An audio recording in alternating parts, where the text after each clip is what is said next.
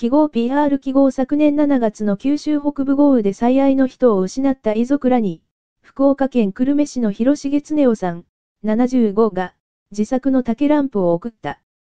竹に刻まれたのは光で浮かび上がる、ありがとうの文字。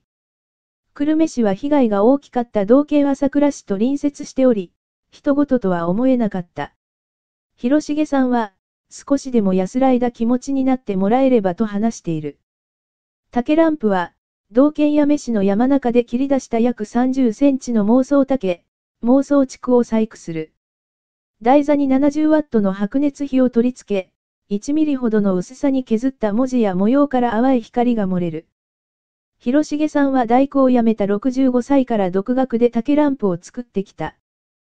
最初は小さな穴を無数に開け、穴から漏れる光で図柄を浮かび上がらせる作品を手掛けていたが、白熱火の光が薄く削った竹を通ると朱色に変化することに気づいた。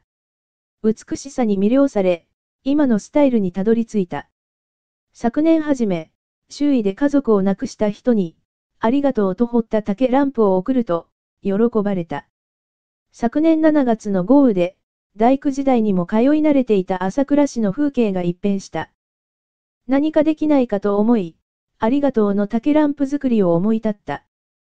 朝倉市役所の協力を得て、昨年12月に市役所で家族を亡くした遺族ら18家族に手渡すことができた。